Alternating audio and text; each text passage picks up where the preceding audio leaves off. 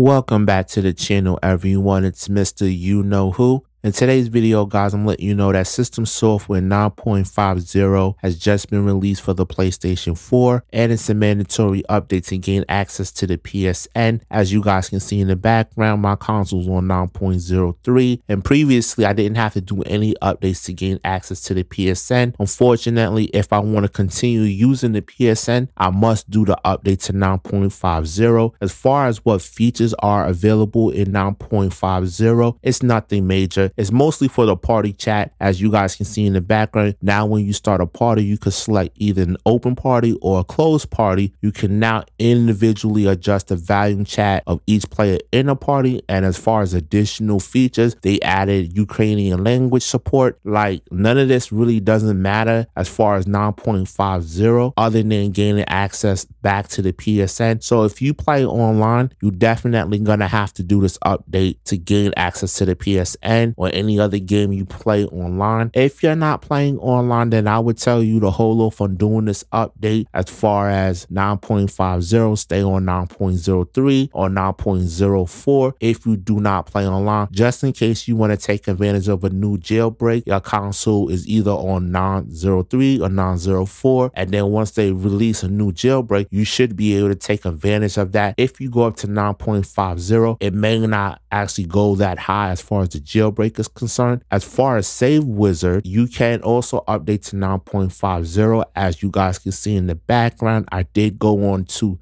Save Wizard's page and it is compatible with 9.50. So no worries there. Definitely would say if you want to go to 9.50 and use Save Wizard, you're safe, you're good to go. No worries about that. But if you stay on 903, or 904, you can also still use Save Wizard, so you're good on that as well. Either way, if you update or if you stay at your current firmware, Save Wizard is no issue. You are pretty much safe on that. The only reason why you would update is to gain access to the PSN, and that's pretty much it. But as always, guys, I thank you for watching this video, support my channel, and I will get up with you guys later. Peace.